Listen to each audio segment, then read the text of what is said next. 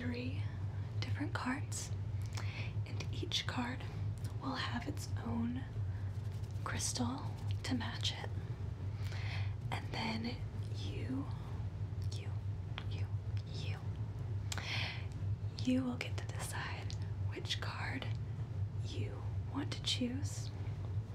It doesn't have to be based on the crystal. Um, it can just be whichever one calls to you, pulls you in. The crystals are just to help you decide which one may speak to you, or just simply to differentiate one, two, and three from the other cards. Okay? So let's go ahead and grab my deck and we'll do a little bit of shuffling real quick.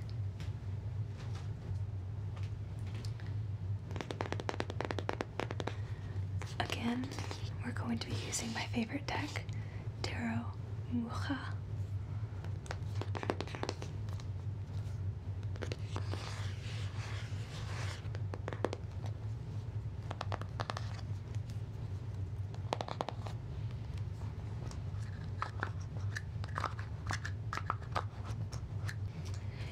And as usual, I will also read from the book itself because I the writings that they have in this guidebook. I think they're just very beautifully written and really um, express the meanings and symbolism in each card. Okay, so I'm gonna go ahead and do a bit of shuffling, okay? Feel free to close your eyes and set your intention.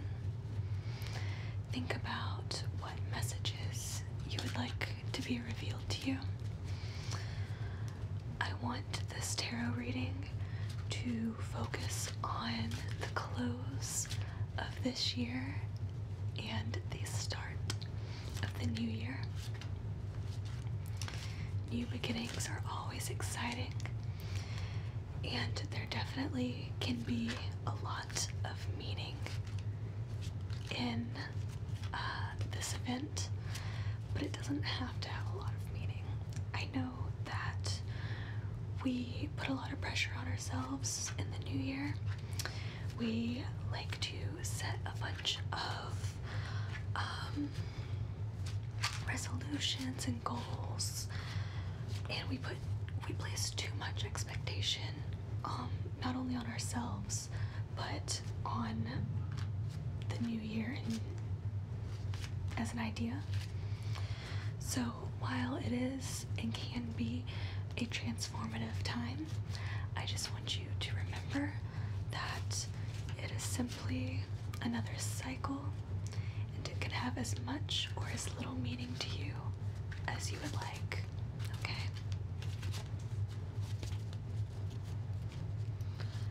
Okay.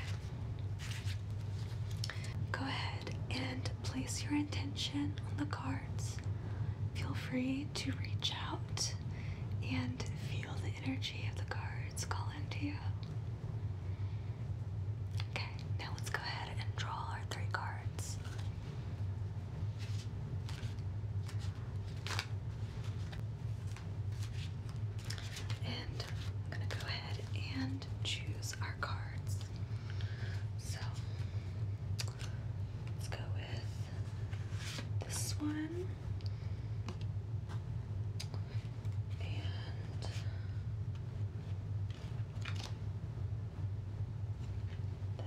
one.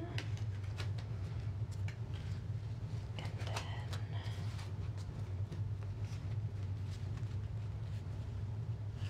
this one. Okay, so here are three cards. Okay, one, two, and three. One, two, three, one, two, three. The first card I'm going to assign Amethyst Card 1 Amethyst.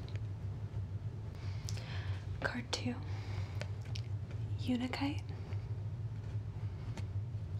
Card two, Unakite. And card three, Black Moonstone. Okay? Card three, Black Moonstone. For card one, that had Amethyst, uh, we have the High Priestess card. One. The High Priestess. You have arrived at the temple of the High Priestess, she who reveals secret knowledge to initiates who have earned that right. She is crowned by the waning moon, its silvery horns evoking the crown of Isis, great goddess of light and life. Ancient feminine mysteries are contained within the priestess's book of wisdom. The still waters behind her symbolize things that are hidden in the depths. The true initiate seeks far beneath mere surface comprehension. Her temple pillars are engraved with B and J for Boaz and Jeshurun, the qualities of duality, dark and light, endings and beginnings, diffusion and creation. Wisdom lies between these extremes. You meet the priestess in the perfect moment between your past and your future. She is the eternal now. She will part the veils of illusion when you are ready to see. And our key ideas are wisdom, illuminated awareness, feminine mysteries, and deepening. So, perhaps in this new year, you can straddle the two dualities of dark and light. A lot of us have gone through some very difficult times uh, for more than the past year.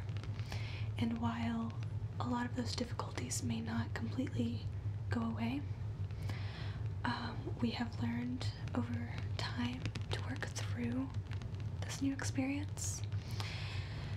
And going into the new year, we can use that knowledge to to see the light of what lies ahead and look to a brighter future. Card 2, the stone was Unakite. For card 2, we have the Seven of Cups. The Seven of Cups. The Seven. One, two, three, four, five, six, seven. The Seven of Cups. The Seven of kaleidoscope of options revolves before you, each offering a different focus for your next step on life's journey. Love, riches, wisdom, worldly success, adventure, spiritual awakening, all these and more are at your fingertips, but how to choose? If all choices seem equally appealing, perhaps it is not time to choose. On the other hand, perhaps you need not choose just one cup. What is your ultimate vision of yourself? Is your spirit big enough to embrace a multitude of possibilities? And our key ideas are confusion, too many choices, an overabundance of possibilities, and a need for delay. So, going into the new year, often there are, an abundance of possibilities.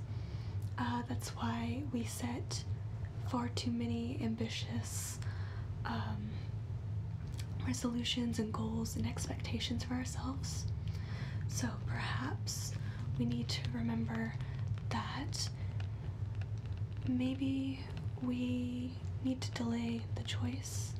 We don't need to choose it all at once. Or we do know the things that we want to do, and we should choose very carefully and very conservatively. but only you know what is best for you and what you need to do, okay? So, it's the Seven of Cups. And our third card was the Black Moonstone. And we have the Eight of Cups. I pull a lot when I read tarot. It doesn't matter how much or how long I shuffle my deck, I pull a lot of cups. uh, so we have the Eight of Cups. We have one, two, three, four, five, six, seven, eight. Eight of Cups.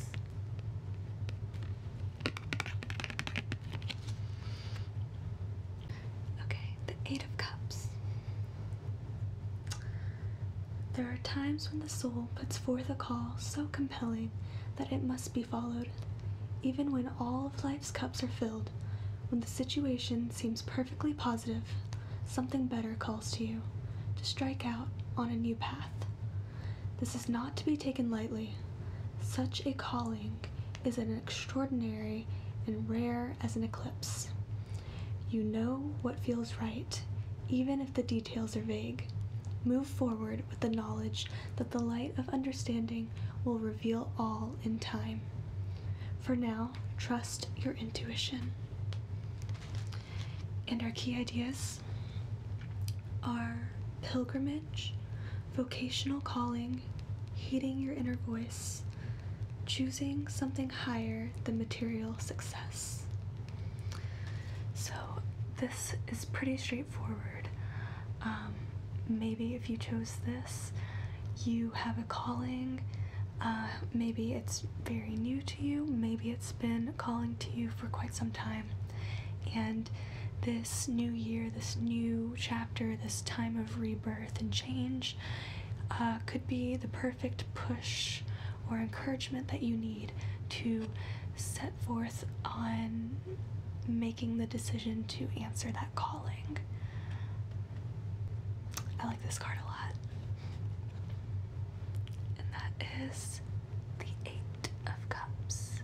The Eight of Cups. Now, I'm going to quickly pull one random card, and that's going to apply to all of us, no matter what you chose, okay?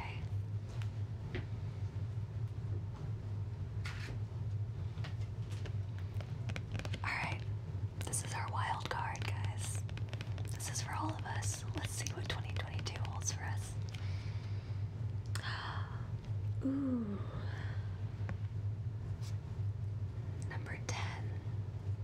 Number 10. Do you know what card this is? It's the wheel.